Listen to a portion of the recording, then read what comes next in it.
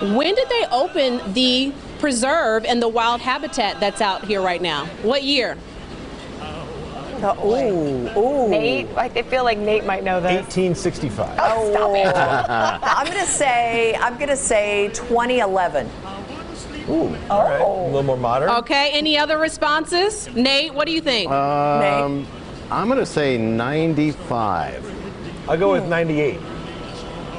Oh, yeah. Okay. Heather? Somewhere, And I'd say Heather, somewhere, Heather? It's got to be somewhere in the 90s.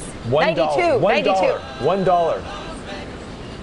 Okay, one dollar, John. All right, Nate, you're correct. 1995. you're correct. And if you come out here, uh, come out Thank here, you. you not only see the flamingos, they got other birds and other wildlife that's out here.